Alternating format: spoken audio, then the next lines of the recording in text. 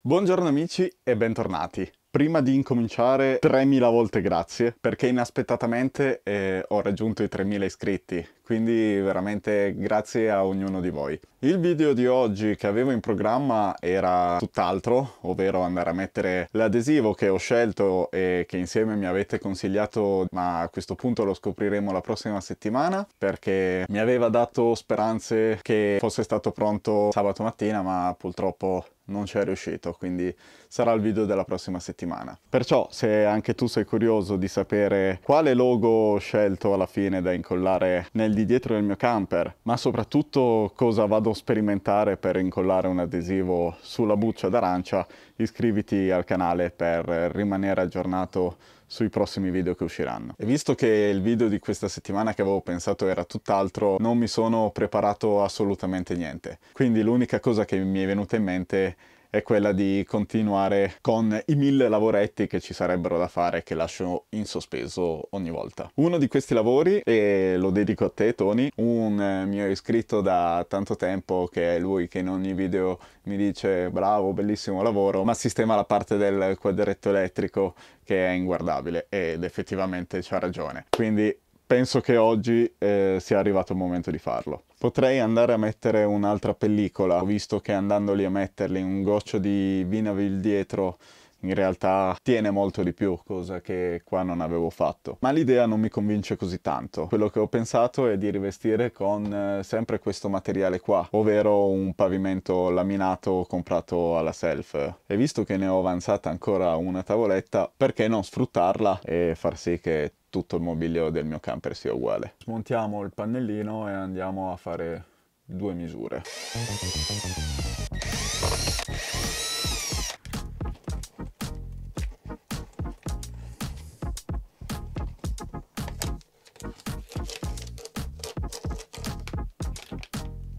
in altezza io lo farei 18 e mezzo 18 e mezzo e lunghezza 50 allora, il legno che andrò a utilizzare è questo qui, come vi dicevo, ne ho avanzata giusto giusto una stecca. Questa eh, in realtà sarebbe già 20, mi basterebbe accorciarla di appunto un centimetro e mezzo e mi andrebbe già bene. Però, visto che non voglio andare a scollegare tutto il quadretto elettrico, andrò a fare due pezzi da 50 e poi li andrò a dividere a metà eh, utilizzando la cerniera. Allora, eh, da spiegare un casino, vi faccio vedere così capirete.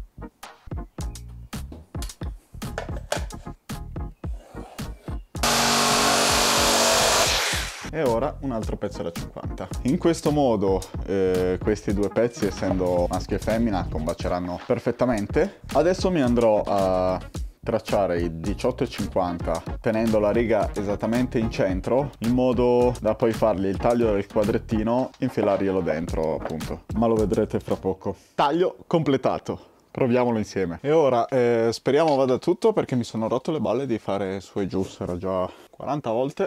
Bene pezzo de sì Tac. Pezzo di giù ed ecco qua svelato perché ho preferito fare due pezzi perché almeno riesco a impaninare il tutto. Allora, una volta fissato è tutto più facile, ma nel momento che non lo è è tutto più difficile. E invece no, devo scendere ancora una volta perché è un pelo troppo lungo. Ci rivediamo fra poco. Ok ragazzi, ci siamo. È uno spettacolo. Direi che è perfetto, bellissimo, bello bello bello. Adesso mi basterà eh, quattro vitine qua per tenere ferma la centralina e non dovrò fare nient'altro perché sarà sarà poi lei stessa a tenermi fermo il tutto abitatore e andiamo a cercare quattro viti uguali ho trovato queste vitine qui tutte quante uguali e non il classico marrone così saranno anche un po' belline da vedere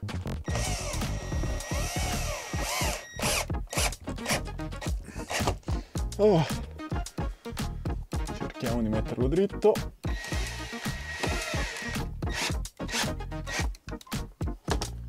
Wow.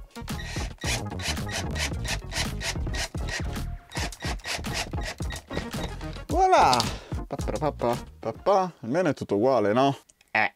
Adesso devo ristudiarmi la chiusura di questo, perché prima era qua così. Vediamo un po' se così può sempre funzionare. Questo potrei provare a fissarlo qua. Proviamoci, dai.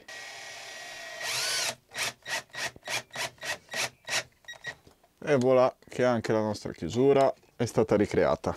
È un po' più bello eh, da vedere, ma soprattutto ora riprende tutto il mobilio del mio camper. Un altro lavoro che avevo fatto nello scorso video è stato montare questo terminalino qui per far sì che tutti i gas di scarico mi vadano verso il basso e non mi vadano più a intaccare la parete posteriore. Solo che in molti di voi mi avete fatto notare che effettivamente esce un po' troppo dal camper. Non è un problema per quanto riguarda i parcheggi perché alla fine è quasi quanto la scaletta, anzi forse un po' meno, però non vorrei mai incorrere in una sanzione per una cavolata del genere. Quindi una piccola modifica che andrò a farli è ovvero di andarlo a accorciare un pelino.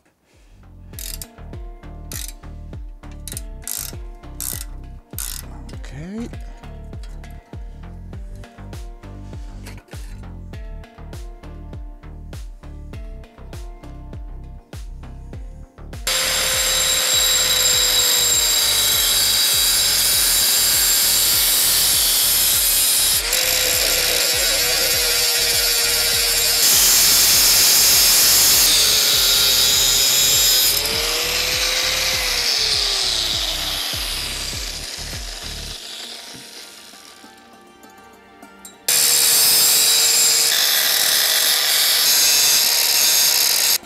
Do una bella limata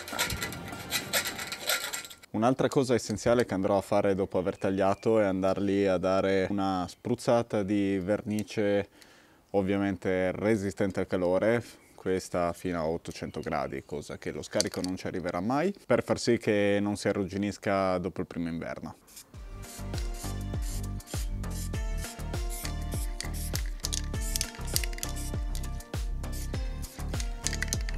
Voilà, ora siamo pronti per andare a rimettere in maniera definitiva il nostro terminale.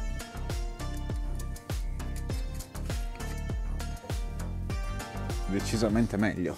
Un altro consiglio che mi avete dato è quello di mettere la fascetta al contrario e sinceramente anche quella è una bella idea, solo che mi va a toccare le viti mi vanno a toccare poi la plastica tenendomi lo scarico non libero dai movimenti, quindi preferisco così, almeno è libero di sballonzolare come vuole.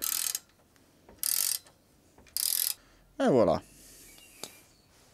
Una lucidatina.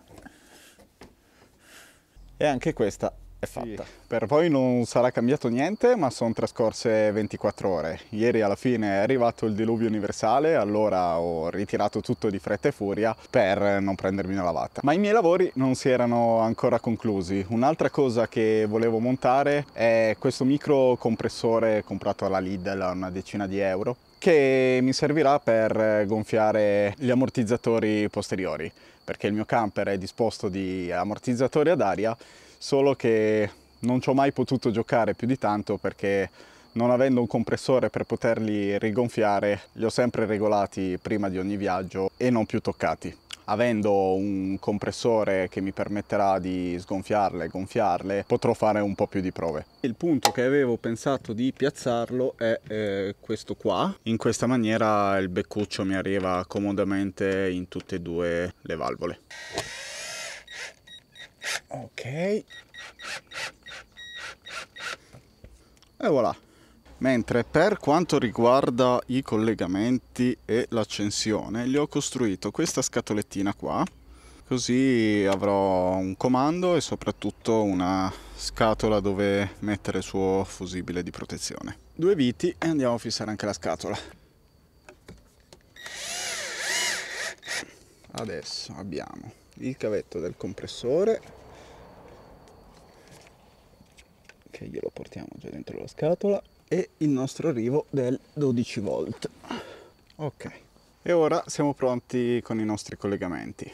Allora il negativo lo andiamo a unire col negativo del compressore. E mentre per quanto riguarda il positivo che arriva gli andiamo a mettere un fusibile di protezione. E dopo aver messo il fusibile possiamo collegargli il nostro interruttore che andrà a interrompere eh, il nostro cavo positivo. Chiudiamo la nostra scatoletta e prima di andarlo a provare non mi rimane che andare nell'altra scatola a collegare i due fili d'arrivo del 12 volt, se no non avrà mai corrente. Positivo e negativo collegati, non ci rimane che provarlo.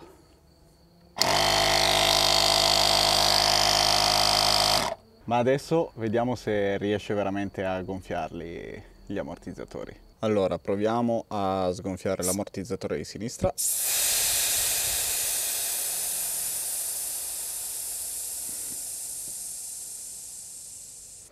E ottimista che riesco a gonfiarli tutti e due, sgonfiamo anche quello di destra.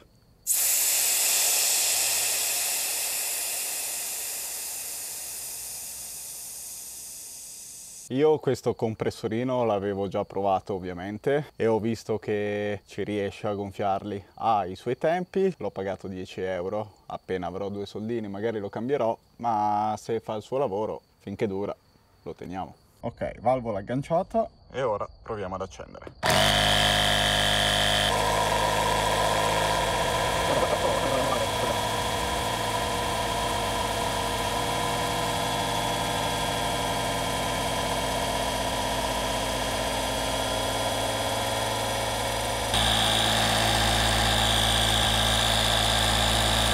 e ci è riuscito. 4 bar raggiunti senza problemi. Ora vai con l'ammortizzatore di destra